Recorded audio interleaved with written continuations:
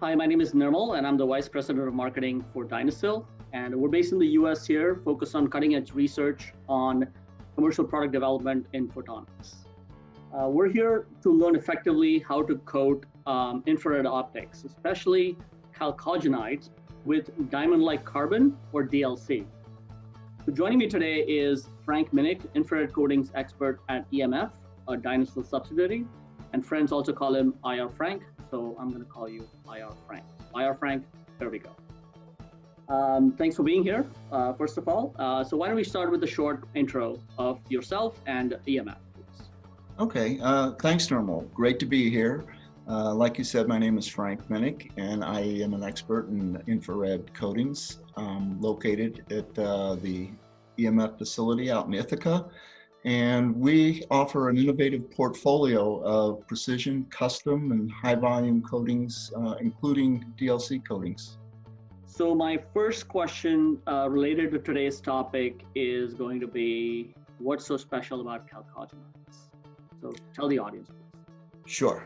Um, there's a lot of usual suspects out there that's used in infrared coatings. There's your germaniums and silicons and zinc selenide and sulfides, and they all have their plus and minuses. But a lot of your um, infrared camera imaging designers are leaning towards this chalcogenide family of glasses.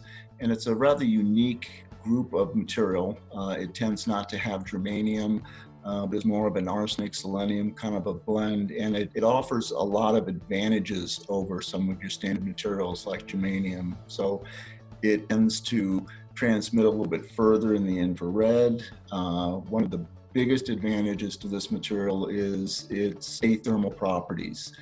In other words, it is less apt to change as temperature changes. And that's critical in a uh, camera system because as that temperature changes, if your lens changes, your focus changes. So you get a much more stable um, camera that operates through a wider range of temperatures.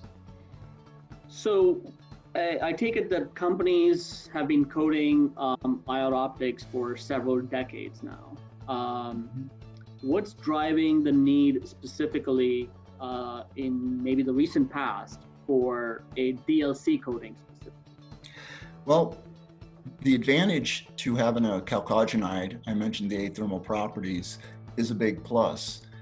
The con to it is because it doesn't have germanium and some of the other uh, typical materials, it's a more fragile material.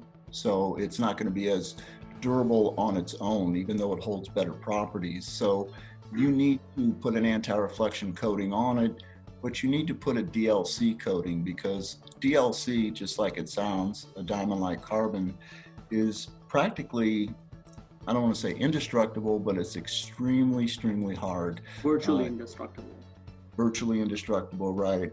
Um, it has very good uh, durability to uh, rain erosion and blowing sand and dust.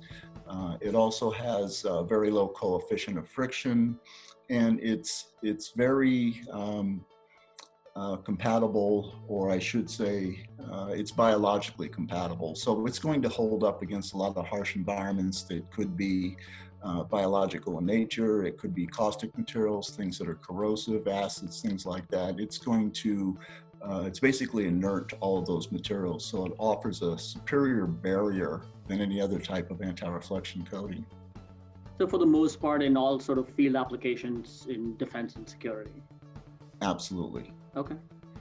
Um, let's let's talk about the process of of the actual coating. Um, do you is the process the same when you're applying DLC to different substrates?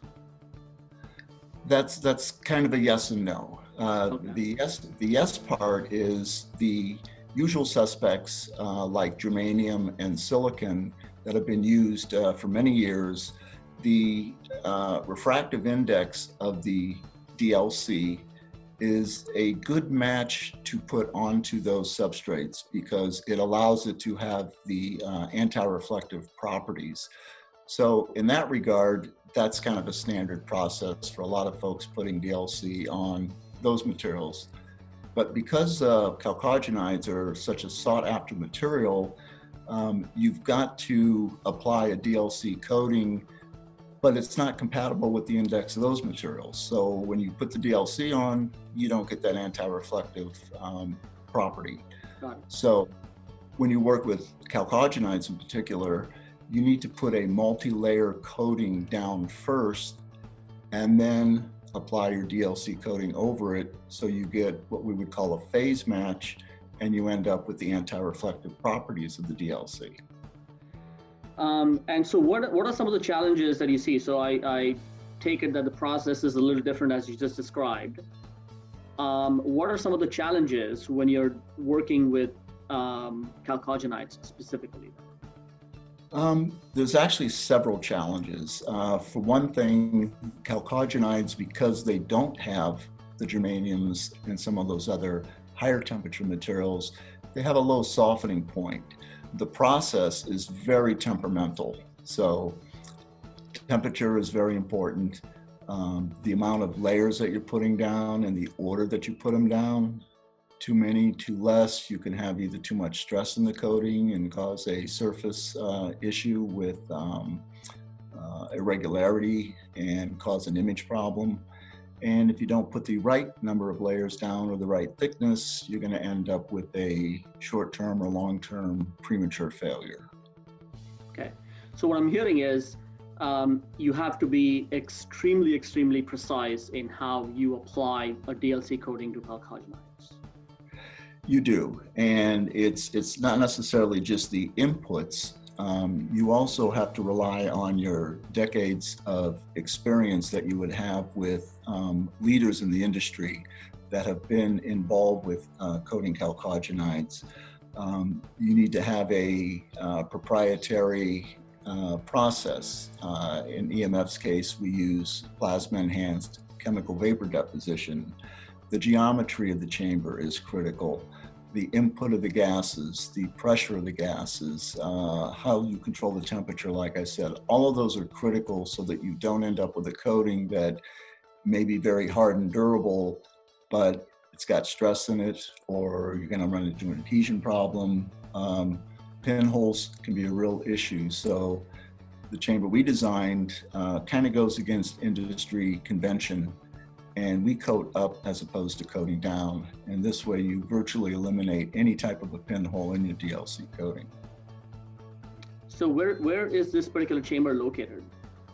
It's located at EMF, Evaporated Metal Films in uh, Ithaca. And EMF is actually the oldest coating house in the United States.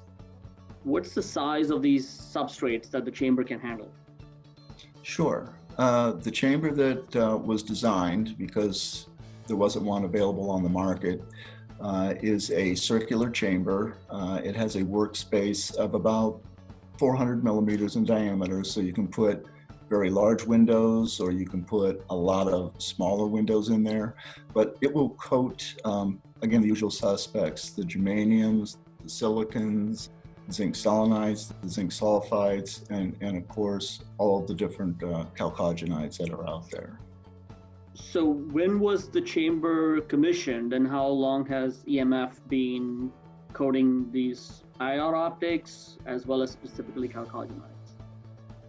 Right. So, as I mentioned, EMF's been around for 80 some odd years. Um, we introduced the DLC process about three years ago, and that chamber was designed and built based on many, many years of field experience by, by many talented individuals. So, um, again, because the chamber was not available on the open market, based on all of our lessons learned, we designed and built the chamber specifically for our need with chalcogenide in mind.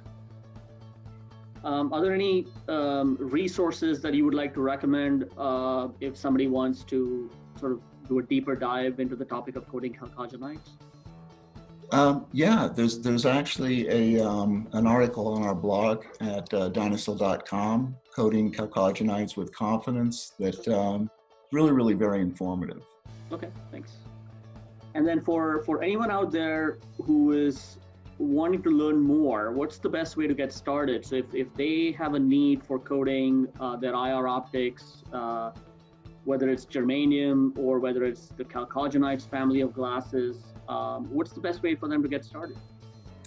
My recommendation is to call someone that's been doing this for a lot of years, and that would be call EMF and call me in particular. You can reach me at uh, 833 IR Frank, or you can just go to our website at uh, dynasil.com and uh, uh, find us through that. Okay. And so, one last question, just for fun. Um, and I know I struggled with the pronunciation myself um, when I sort of started uh, working at Dynasil, which was almost two years ago now. Is how many different ways have you heard the word chalcogenides uh, being pronounced? I've uh, been to a lot of trade shows and I've rarely heard anybody say it the same way. So I've, I've heard it six, eight, ten different ways. Uh, but you know, it really doesn't matter how you pronounce it. As long as you give us a call and let us help you with your application, that's that's what really matters. Great, and uh, so thank you again so much for your time and for your insights uh, on this topic. Uh, once again, this is uh, Frank Minich, our resident IR expert at EMF, a Dynasil subsidiary. Thanks again, Frank. Pleasure to be here. Thank you, Nirmal. Okay, bye now.